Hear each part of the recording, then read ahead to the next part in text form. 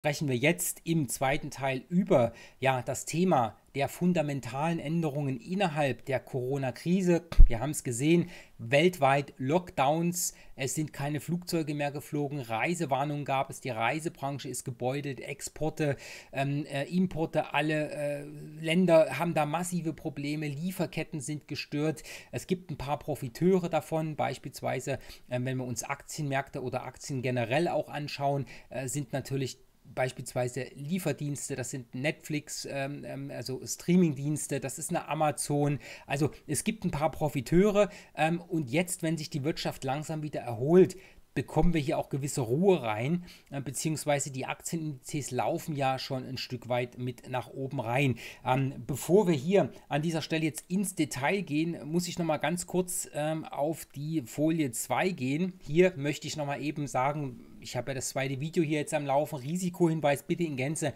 zur Kenntnis nehmen, der Handel mit Devisen und CFDs auf Margin, der kann zu Verlusten führen. All das bitte hier an dieser Stelle auch mit aufnehmen. Und damit gehen wir jetzt einfach mal hier live rein in das, was mir hier, ja, sag ich mal, auf dem Herzen so ein bisschen brennt. Im Blickpunkt auch das Thema Portfolio-Mischung. Und da schauen wir uns jetzt einfach mal die großen Indizes mit an, was wir hier schon immer mal besprochen hatten. Wir starten einfach mal kurz durch ähm, mit dem DAX. Sauberes Chartfenster. Wir gucken uns den DAX momentan auch einfach mal im Tageschart mit an. So, da haben wir ihn drinnen. Kurzen Augenblick. Ich muss hier nur mal kurz das Trading Tool deaktivieren. Ich möchte hier jetzt nämlich nicht aus Versehen äh, einen äh, Trade starten, auch wenn das natürlich in Teilen legitim ist. Wir laufen hier über die letzten Korrekturhochs, also beziehungsweise als wir hier im Kleinen drüber gelaufen sind, ähm, laufen wir hier durch. Also wenn wir uns den DAX mal im Kleinen anschauen, schaut man, da war die Korrektur da, jetzt sind wir hier oben drüber gelaufen. Also die Long-Szenarien haben hier durchaus weiter Potenzial und auch die Chance nach oben einzugehen. Ähm, und hier sehen wir ganz klar, was gespielt wird. Und hier sehen wir auch das, was ich mir persönlich auch vor einer ganzen Weile noch gar nicht vorstellen konnte, dass wir wieder mal nur eine V-förmige Korrektur haben. Ja, also wir sind nach unten gekracht. Ich mache das mal ganz kurz in die Woche rein. Wir sind einfach nur nach unten gekracht und jetzt ja, mehr gab es momentan nicht. Jetzt läuft der Markt einfach nach oben wie verrückt. Und wenn wir uns hier im DAX mal die aktuelle Wochenkerze anschauen, dann sehen wir, wie massiv das Ganze auch nach oben geht. Und das, äh, liebe Traderinnen und Trader, das ist sozusagen die Vorausschau in die Zukunft, ja, weil die Unternehmen, die warten ja jetzt großteils, wir haben es in der letzten Berichtssaison gesehen, mit Unternehmenswarn oder mit Gewinnwarnmeldungen auf. Ähm, teilweise werden Jahresprognosen rausgenommen, andere Unternehmen wagen es nicht einmal eine Prognose zu machen, weil sie einfach ja hier nicht wissen, wie es weitergeht, weil die Planbarkeit einfach noch gar nicht da ist, ja. Und das sind so die Marker, die wir hier bei uns in Deutschland haben. Und nichtsdestotrotz schaut euch an, was hier passiert. Wir haben massive Dynamik, wir haben einen riesig nach oben laufenden Markt und mittlerweile ist der Bärenmarkt auch rausgenommen. Bärenmarkt rausgenommen, warum? Schaut euch das Ganze mal an. Hier, das war das Zwischenhoch. Hier, das war der Trend nach unten. Wenn ich das auf Tagesbasis zeige, sieht man es ein bisschen besser. Das heißt, ich mache mal kurz das Zeichentool hier aus GoToWebinar an. Schaut mal hier, das war die erste Bewegung nach unten. Dann gab es die Gegenbewegung und dann gab es die Abwärtstrendbildung. So, für alle die, wo hier der Kopf jetzt verrückt spielt, Es ist natürlich grün, wird sonst immer für den Aufwärtstrend genommen. So what? GoTo wollte jetzt grün zeichnen für den Abwärtstrend. Wurscht, wir sehen trotzdem, der Abwärtstrend ist da. Hier oben, dieser Bereich, das war die wichtige Marke. Und hier, wir sind einfach drüber gelaufen, haben das Ganze rausgenommen und das Schöne halt, und das ist das, was wir ja schon oft besprochen hatten hier in unseren Morning Briefings auch. Schaut mal, wir sind verortet in einem Aufwärtstrend im DAX. Der kam unten raus, das V war da, der Bärenmarkt ist rausgenommen. Wir sind tatsächlich oben drüber gelaufen und es schaut momentan auch aus, dass der Markt sich oben drüber stabilisieren kann und hier oben dann tatsächlich reinläuft in Richtung des Allzeithochs, was wir hier oben drüber haben, bei knapp unter 14.000 Punkten. Der Weg ist jetzt offen, ja, das ist ganz klar. Was wir hier jetzt noch sehen, ich mache mal kurz das Zeichentool hier aus. Was wir hier jetzt noch sehen, ist natürlich, hier oben haben wir noch einen Verkaufsbereich drinnen liegen. Der wird mit guter Wahrscheinlichkeit eine Rolle spielen. Also wenn wir uns den DAX hier an dieser Stelle mal anschauen und schauen, wo äh, liegt denn der nächste Knackpunkt, äh, wo die Märkte etwas durchatmen könnten, das wäre mal auf alle Fälle hier oben der Bereich um die 13.000 Punkte Marke. Schaut, das war ein Kampfbereich. Hier oben hat der Markt lange, lange Zeit versucht, immer wieder dieses Level zu verteidigen und ist dann auch nach oben rausgelaufen. Von der Seite her ist dieser Bereich mit hoher Marktbeachtung gedacht und hier ist dann sozusagen der langfristige Aufwärtstrend gebrochen worden. Das heißt, hier oben wurde auch viele, viele, äh, sage ich mal, äh, Positionen, die auf der Long-Seite abgesichert wurden, nach unten rausgeschmissen. Und das gab ja dann diesen riesen brutalen Abverkauf. Da wurde einfach alles zu Geld gemacht, was man zu Geld machen konnte. Deswegen haben die Börsen halt auch so eine hohe Berechtigung, gerade auch in Krisen. Wenn man die Börse geschlossen hätte, dann hätte es eine massive äh, Kapitalverengung gegeben. Viele Unternehmen hätten gar nicht an Geld kommen können. Äh, von der Seite her hat das alles seine Bewandtnis. Und wie schon gesagt, hier oben die Punktemarke um die 13.000. Das ist jetzt mal der wichtige Bereich hier, 12.9, 13.000.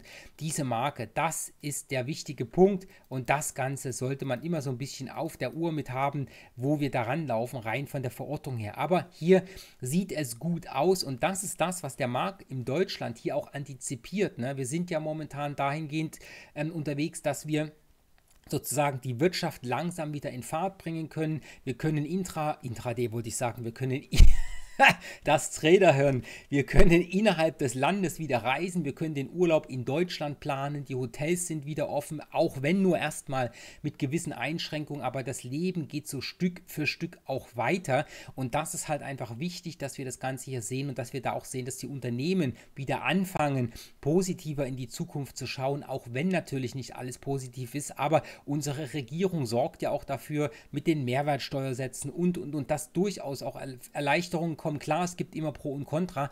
Nur wenn wir uns mal daran halten, was der Markt daraus macht, was der Markt hier spielt, dann sehen wir ganz klar, wir haben hier deutliches Potenzial zur Oberseite, immer dann, wenn wir positive Nachrichten bekommen. Und das ist sehr, sehr interessant an dieser Stelle zu sehen. Hier zum Beispiel mit Blick auf den DAX. Wenn wir uns das ganze Bild mal in äh, den USA anschauen, kleinen Augenblick, ich mache mal kurz hier muss mal kurz hier wieder alles rauslöschen, sonst haben wir das Ganze gleich in allen anderen Charts auch mit drinnen. Also, wenn wir uns jetzt hier mal beispielsweise den äh, US 30, also den Dow Jones mit anschauen. So, ich ziehe ihn mal rein. Da ist er. Das Ganze auch im Tageschart hier an dieser Stelle zu sehen. Äh, auch hier kurz Handel, den Handel ausschalten. Das sehen wir auch hier. Wenn wir uns den DAO anschauen, schaut mal hier, auch hier das Bild in der Woche. Ich habe es vorhin gesagt, ich habe auch jetzt wieder das gleiche Bild hier. Ich konnte mir nicht vorstellen, dass wir hier wieder mal nur ein V sehen. Aber es kam, ja. Und deswegen ist es wichtig, dass wir Händler auch immer schauen, was der Markt macht, ja, und uns nicht hinsetzen, es kann nicht sein, dass das ein V wird. Ich kann hier nicht long traden, weil wir sehen nochmal die tieferen Kurse. Da kommt man in Zugzwingen. Also viele Leute sagen zwar, Gott, die Märkte, die sind so hoch gelaufen, die müssen irgendwann wieder fallen. Aber wir sehen es ja, das Geld fließt rein. Von den Notenbanken gibt es billiges Geld und man kommt halt irgendwann in Zugzwang. Die Fondsmanager, die können sich nicht am Jahresende hinstellen und sagen, naja, wir haben nicht performt, weil wir eigentlich erwartet haben, dass es keine V-Formation gibt, sondern dass es irgendwie ein L oder ein W gibt.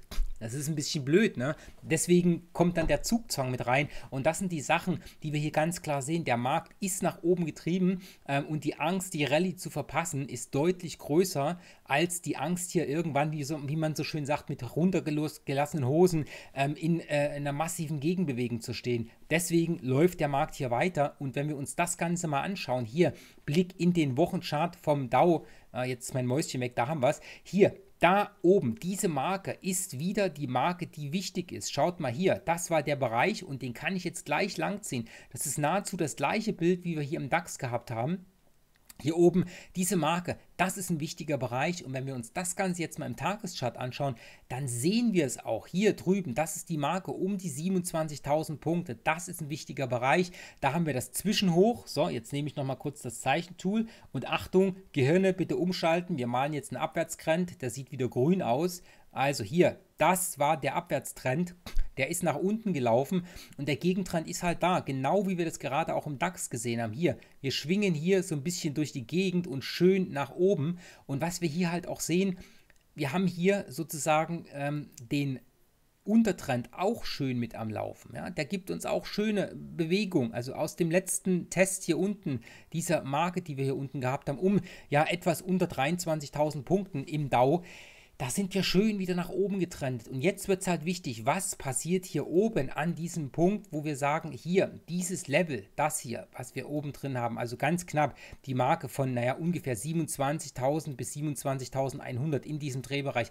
Was passiert da oben? Prallen wir ab, gehen wir erstmal in eine Korrektur oder laufen wir drüber Richtung Allzeithochs? Und es ist halt auch in den USA so. Der Staat und auch die Fed sorgen dafür oder wollen alles dafür tun, dass sozusagen die Wirtschaft wieder in Schwung kommt. Und wir sehen es genauso wie bei uns in Deutschland. In Deutschland haben wir das sogenannte Kurzarbeitergeld, wo sozusagen Geld äh, zu den Angestellten fließt, die sonst entlassen werden würden, ähm, wo sozusagen auch der private Konsument etwas von den Förderungen hat.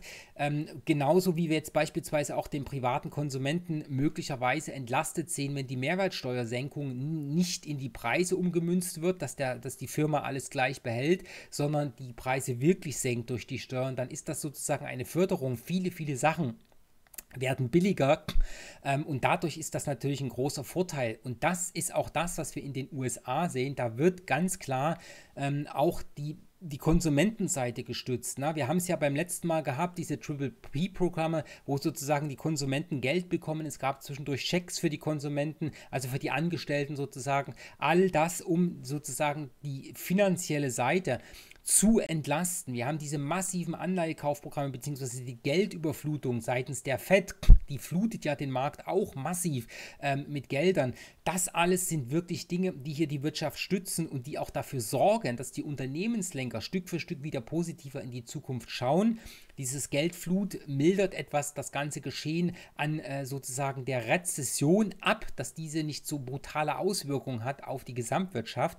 Und wenn sich das Ganze alles wieder beruhigt, dann haben wir gute Karten, dass die Wirtschaft zwar in der Rezession ist, aber vielleicht sich doch ein bisschen besser entwickelt, als man das zuerst befürchtet hat. Und das sehen wir jetzt auch hier. Der Dow schön nach oben laufend. Ähm, wir sehen es nachher auch beim Tech, äh, den wir in den USA haben, also beim Nasdaq, der ist schon wieder am Allzeithoch. Das Ganze sehen wir hier und da sehen wir auch, dass diese Lockdown-Maßnahmen, die jetzt langsam auch rausgehen, dass der Markt wieder anfangen kann zu arbeiten, dass die ersten Fluglinien wieder fliegen.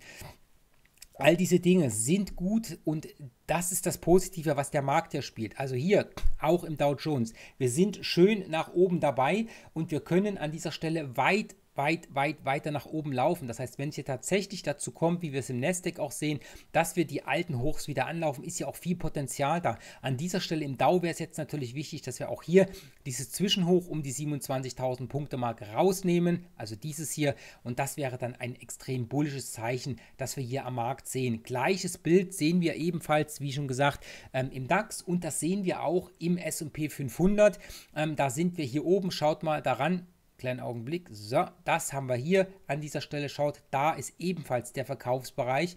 Dieser Verkaufsbereich hat in der Vergangenheit ebenfalls eine Rolle gespielt. Das heißt, hier an dieser Stelle, wenn wir ein Stückchen weiter nach hinten schauen in den Chart, schaut mal hier drüben, das war der Bereich hier drüben, der war hier schon mal marktrelevant sozusagen. Das war hier der Kaufbereich. Dann sind wir hier drunter gefallen, haben den Aufwärtstrend sozusagen nach unten hin oder die, die Abwärtsdynamik massiv bestätigt hier über diesen Bereich. Das kam im SP 500 übrigens auch rein charttechnisch natürlich deutlich eher. Da war es hier in diesem Bereich schon um die 3200 ähm, und ein paar 30 Punkte soweit. Aber nichtsdestotrotz, auch hier stehen wir an einem wichtigen Level. Dieses Zwischenhoch hier an dieser Stelle, das ist der wichtige Bereich. Da gilt es drüber zu laufen. Und da sind wir gestern ein bisschen drunter verschnauft.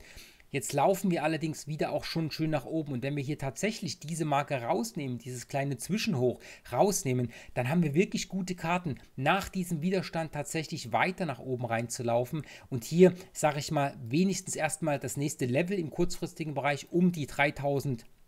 200 und naja, knapp 20 Punkte Marke in Angriff zu nehmen und dann steht hier in diesem Bereich auch schon das Allzeithoch wieder mit im Rahmen. Also hier auch da, die Bullen sind schön unterwegs, die Lockdown-Maßnahmen, die hier rausgehen, wirken am US-Markt und das sehen wir auch hier und das sehen wir unter anderem auch sehr, sehr deutlich, wenn wir uns den Nasdaq mal anschauen. Das gucken wir uns jetzt mal an und danach gehen wir mal noch auf ein paar europäische Indizes ein. Das heißt, wenn wir uns hier den US-Tech einfach mal anschauen, da sehen wir, der steht schon wieder am Allzeithoch und das zeigt mal die massive Stärke des Technologiesektors. Ja? Und das sehen wir einfach auch, der ist aus dem V auch von unten rausgenommen und konnte in den letzten Tagen bzw. Wochen halt auch massiv zulegen an dieser Stelle. Eine Sache möchte ich hier an diesem Punkt mal noch mit beleuchten. Die Korrektur sah hier natürlich etwas anders aus. Ne? Also wir sind hier ein bisschen anders reingelaufen als an den anderen Indizes. Ähm, aber schaut mal hier, da unten ist der Trend, dieser größere Trend rausgenommen worden. Das war hier auch dieser Bereich um die, wartet, kleinen Augenblick, Preisschild kommt rein. Hier ganz knapp die Marke von etwas unter 9000 Punkten. Ähm, 9000 Punkte, 8960 in etwa. Dieser Drehbereich da unten, der war wichtig. Der wirkte hier unterstützend, ist dann zum Widerstand Widerstand geworden an dieser Stelle. Und hier sind wir jetzt drauf gelaufen. Hier der Trend läuft auch schön nach oben hin. Ähm, eine Kleinigkeit sollte man hier immer so ein bisschen beachten, wer die Märkte jetzt hier sich auch anschaut. Im kurzfristigen Trading, hier wird es natürlich jetzt sehr, sehr interessant, was passiert. Und ich kann mir auch gut vorstellen, ähm, dass wir hier, schaut euch mal, wir verbinden jetzt einfach mal hier ähm, eine, eine, eine Oberseite und eine Unterseite und da können wir sozusagen hier, kleinen Augenblick, hier schon relativ gut erkennen, was ich meine. Wir haben hier eine stärker steigende Unterseite. Das heißt, wir haben hier definitiv einen Keil und wenn man sich das Ganze in der Verortung mal anschaut, kann es unter Umständen tatsächlich auch dazu kommen, dass wir erstmal hier ein bisschen Luft holen, ein bisschen Korrektur sehen, ähm, die wir nach unten reinbringen. Und dann haben wir hier mit Blick auf den Nasdaq den größeren Unterstützungsbereich hier in diesem Kauflevel, was wir haben. Ich mache es mal eben grün, damit es sich abhebt. Also dieses Kauflevel hier um die Marke vom Ausbruch. Also hier, da hatten wir das Ausbruchlevel ganz knapp, die Marke von 9400, äh, 9300 und über den Daumen um die 45. Das ist ein Level, das hat Marktbeachtung gehabt. Da haben wir immer mal schon drunter gespiked hier, aber sind immer wieder hochgelaufen durchaus im Kurzfristbereich, wenn wir aus diesem Keil nach unten ausbrechen sollten, das wäre mal der erste Anlaufbereich. Das wird interessant zu sein. Ansonsten, wie schon gesagt, hier oben ist allzeit hoch und wenn hier tatsächlich wieder deutliche Käufer warten, naja, dann haben wir hier auch zu erwarten, dass der Markt schön nach oben läuft. Und wenn wir uns mal eine runde Marke suchen wollen, hier nach dem Hoch von, ja, wo haben wir das Hoch hier oben gehabt? Gucken wir mal, das Hoch haben wir gehabt bei 9755 hier in diesem Chart. Da sind die 10.000 Punkte natürlich psychologisch logisch auch in Greifweite. Also ich bin wirklich sehr gespannt, was hier kommt. Und ich denke, Zünglein an der Waage, gerade im kurzfristigen Bereich, könnten durchaus die Non-Farm Payrolls heute Nachmittag in den USA mit sein. So, Jetzt haben wir mal den DAX durch und wir haben mal durch die drei US-Indizes. Und was ich jetzt gerne mal noch machen möchte, ist dieses Bild nehmen und sozusagen auf ein paar europäische Indizes mit ausweiten, weil Thema Nachholbedarf ist ja immer ein wichtiges Thema. Und wer hinterher rennt oder beziehungsweise wer Nachholbedarf hat und sich das Ganze auch bessert, beziehungsweise in gewissen Maßnahmen auch hinterherläuft, ich sage da nur mal Italien oder äh, was haben wir hier noch an Indizes, Spanien, das ist natürlich prädestiniert. Wenn man sich das Ganze mal anschaut, hier der Chart von Italien. Hm? Guckt euch mal an. Der ist natürlich ja, sieht der ganz anders aus als der DAX. Ja, der DAX, der ist schon hier über das Zwischenhoch drüber gelaufen. Kurzen Augenblick, auch hier mache ich mal kurz die Trading-Plattform aus. So, bop, weg haben wir es. Schaut, hier oben, das ist das Bereich oder der Bereich des Zwischenhochs, den wir hier haben.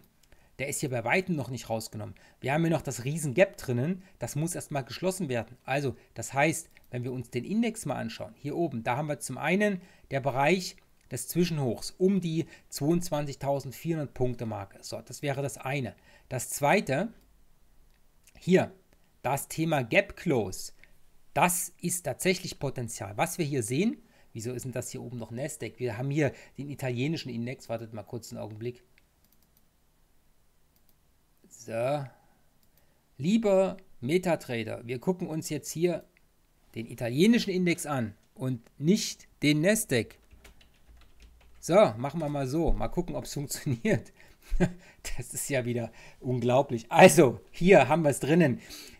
Weg nach oben, deutlich auch da. Schöner Aufwärtstrend ist auch da, ganz klar. Ich zeichne es mal ganz kurz ein hier an dieser Stelle, den Stift an. Also hier, grob, hier.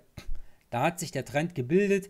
Und hier auch die schöne Dynamik nach oben ist schön zu sehen, ja. Wie schon gesagt, der nächste Anlaufpunkt, den wir haben, der ist jetzt hier oben an dieser Stelle, den Gap Close. Aber was wir hier mit Sicherheit auch haben, ist eine wirklich schöne Chance, den Markt hier auch noch deutlich weiter nach oben begleiten zu können, weil die ganzen Lockdown-Maßnahmen oder die Wirtschaftsschwächung hier, die hat ja Italien auch extrem scharf getroffen. Ja? Also wenn man sich mal die Korrekturen, also die Gegenbewegung nach unten auch anschaut, die sind ja ähm, rein vom Bild her, ja, ähnlich dem gewesen, rein vom Bild. Nicht von der Korrekturtiefe oder von der Tiefe der Gegenbewegung. Aber an sich ist es ja schon, schon da, dass wir sozusagen sagen können, wir sind extrem tief runtergelaufen. Und wenn man sich das Ganze hier im italienischen Index auch mal anschaut, hier oben, wir haben tatsächlich, wenn wir oben reinlaufen, ähm, in Italien, ganz klar, der ist extrem weit weg, der Markt vom Allzeithoch. Ähm, da brauchen wir nicht drüber reden, da sieht der deutsche Index ganz anders aus. Aber was wir halt hier einfach haben im großen Bild, wir haben da oben um die Marke von 24.000, das haben wir, jetzt muss ich mal ranrutschen, 24.100. Wir haben da oben einen Deckel drauf. Wir stehen jetzt bei 20.042 Zählern aktuell. Das heißt, wir haben nach oben hin noch einiges an Luft, wenn wir uns das Ganze mal anschauen. Wir haben das Zwischenhoch hier, wenn wir uns mal kurz die Woche bzw. den Tag anschauen wollen. Hier, da haben wir die 22,4 rein, wenn man das Bild mal anschaut, wir haben nach oben äußerst viel Luft und wenn wir jetzt sozusagen ähm, die Lockerungsmaßnahmen in Italien sehen und die durchaus positive Auswirkungen auch auf die Wirtschaft haben, dann könnten wir hier durchaus Nachlauf sehen, der ordentlich Performance nach oben mitbringt und das Ganze kann man schön zum Traden nutzen, vielleicht nicht zwangsläufig im Intraday-Bereich, aber die Swing Trader, warum nicht? Das kann man nutzen, ne? Schauen wir uns das Ganze mal in Spanien an. An dieser Stelle hier der italienische Aktienmarkt. Den sehen wir hier an dieser Stelle ganz klar mit dran. Und wir sehen im spanischen Aktienmarkt das gleiche Bild. Wir haben einen Markt, der sozusagen weit nach unten korrigiert hat. Er ist auch hier mit Gaps gesegnet, aber auch hier, wir haben nach oben hin deutliches Potenzial. Schaut mal, hier haben wir einen Verkaufsbereich. Das ist Nummer 1. Das Zwischenhoch, was wir vorhin auf den anderen Indizes auch gesprochen haben, das liegt vom Trend her, vom Abwärtstrend, das liegt bei 9000 Punkten. Wir stehen jetzt bei 7758. Das heißt, guckt euch mal den Wochenchart an.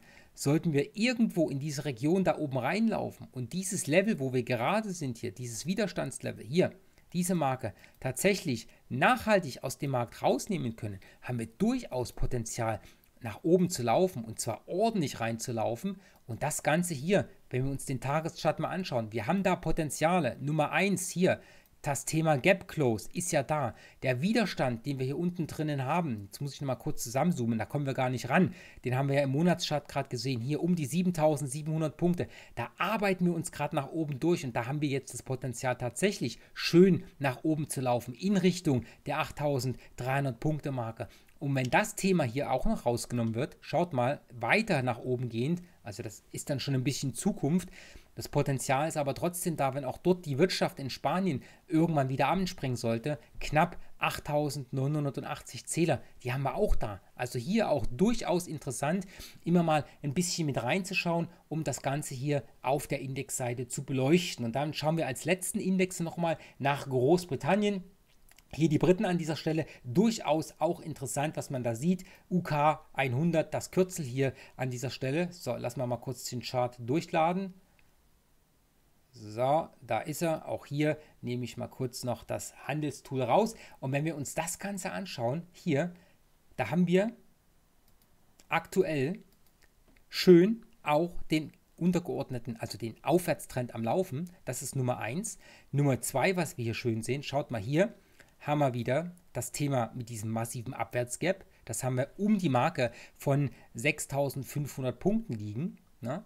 Da sind wir gerade dran. Der Markt trendet auch schön nach oben. Wenn dieses Level rausgenommen wird, ist als nächster Potenzialpunkt obendrauf hier die Marke von knapp 7000 Punkten dran. Also hier 6,9, 7000. Durchaus ein Anlaufbereich, den wir hier mit reinnehmen können. Und wenn wir uns das Ganze mal anschauen, wir haben hier oben die Allzeithochs liegen, wo dieser dicke Balken ist, da haben wir durchaus Potenzial mit reinzulaufen. Und wie schon gesagt, wenn wir hier tatsächlich dieses Hoch rausnehmen, dann ist auch hier aus charttechnischer Sicht der Bärenmarkt raus und das ist das Potenzial, dann noch weiter nach oben zu laufen. Und hier haben wir schön einen Nachholeffekt. Und bei der britischen Wirtschaft ist ja zum einen natürlich jetzt der Covid-19 oder das Covid-19-Thema eine sehr belastende Faktor. Wir haben einen extrem schwachen Arbeitsmarkt in Großbritannien. Aber auch hier, wenn die Wirtschaft wieder in Schwung kommt, könnte das positiv wirken. Das ist das eine. Das zweite, was man hier mit im Hinterkopf haben sollte, das Thema Brexit. Da spricht man momentan nicht so drüber, aber es ist natürlich so, die Brexit-Verhandlungen sind natürlich auch noch da. Ja? Da muss es auch noch Deals geben in diese Richtung.